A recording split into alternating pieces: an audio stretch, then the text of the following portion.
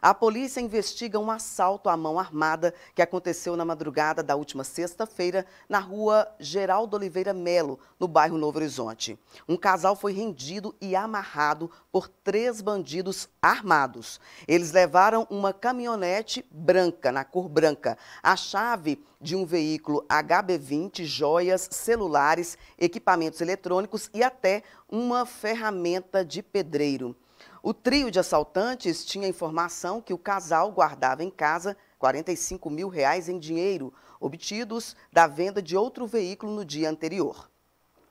Bem, o homem de 32 anos foi agredido até mostrar onde estava guardado o dinheiro. O casal conseguiu se, soltar e acionar a polícia uma hora depois que os bandidos deixaram o local. Ninguém, até o presente momento, foi preso.